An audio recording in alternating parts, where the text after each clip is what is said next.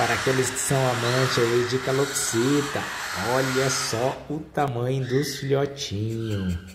Só que vocês dão uma olhada que o ninho, ele já tá ficando muito sujo. Você tá vendo aqui, ó. Isso daqui, ó, faz mal.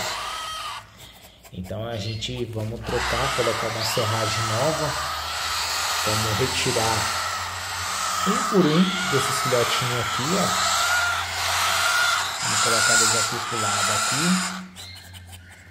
E vamos fazer uma limpeza no ninho. Lembrando que a gente compra a serragem prensada a vácuo. Olha que bonitão. Olha que coisa bonita.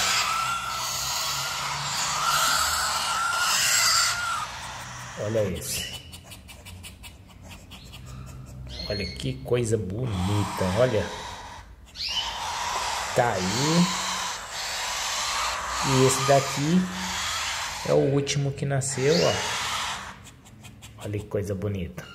A gente coloca, transportando eles pra cá. Agora eu vou fazer um outro vídeo voltando já com o ninho limpo.